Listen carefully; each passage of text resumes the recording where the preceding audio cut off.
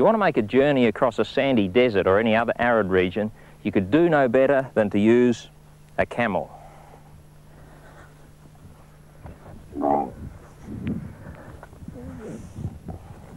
Up. Now, some people would say that a camel is ugly. They're certainly ungainly, but they're a very good creature for travelling across desert regions. Why is the camel so great in the desert? Well, for one thing, camels can go a long time without water. Two weeks, three weeks, or even longer. It's not that they don't like water. In fact, at the end of a journey, a camel can drink 100 litres of water in one go, gulping it down at the rate of 20 litres a minute. They love water and they need it to replace the water they've lost through evaporation. Some people think they store water in the hump, but that's not true. The hump is actually a storage of fat. We all need energy store. We have fat underneath our skin, and we use that as a storage for energy. And if we go a few days without food, we can actually use up that for energy. Well, the camel stores nearly all of its fat in one place, the hump. And actually, when it uses that up as food, it does produce a bit of water. So that's important. Another thing important about the camel is the hair that covers the body. That's important as insulation. You might say, why does a camel need insulation when it's out in the sun? Well, we all should wear clothing when we're in the hot sun. We shouldn't leave too much skin exposed because we absorb too much heat energy for the sun. Same is important for the camel. But there's something else that's equally important about the camel, and that's the structure of its feet. To see why, let's take an X-ray view. Now you and I, when we stand, stand on flat feet. We've got a big broad foot, and you can see the heel and the toes are all on the ground. But it's no good if you try running like that. It's very slow and clumpy. So if we run, we get up on our toes, and so do the hunters. If you look at a dog, it runs on its toes and the pad behind them. Well, the animals that they hunt are by and large the hoofed animals, which have had to go one better, and they stand right up on tiptoe. Now that gives them longer legs and they make less contact with the ground. And you can see that the camel, being a hoofed animal, has done exactly that. Here's the hind leg. The knee is way up on the leg. Down here is the heel, permanently off the ground. And here's the very long foot coming down there.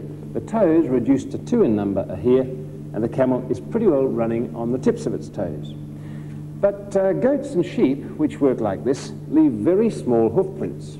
It helps them but the camel is so large and bulky that it would nail itself into the desert sands if it worked with hooves as small as that. So for the camel, it's had to go back to the start of the story, and its feet have gone broad again. So if you look at the foot of a camel, you'll notice that it's a big, soft pad or cushion. In fact, somebody's described it as a flat tyre filled not with air, but fat. And that's ideally suited for walking over sand of the desert. Also, you'll notice that the camel moves the two left feet forward and then the two right feet forward. It has a slow, easy gait, so it's conserving energy as it tramps across the arid region. Now, besides these things, there are also some less obvious but equally important features up front.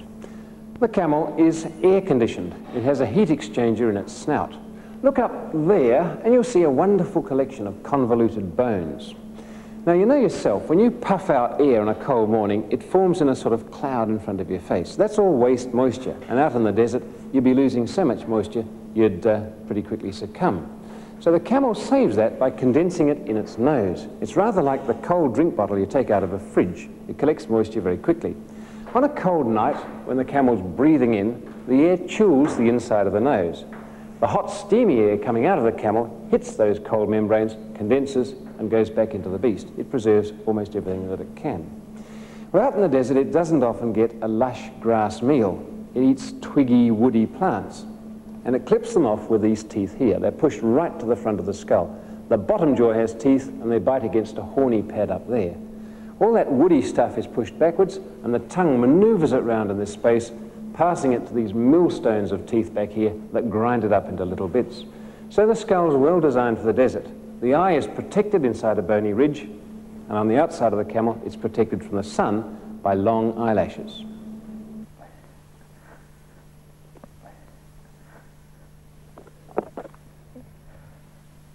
So, for your next desert trip, that's what you need. The economical, air-conditioned, four cushion-footed camel.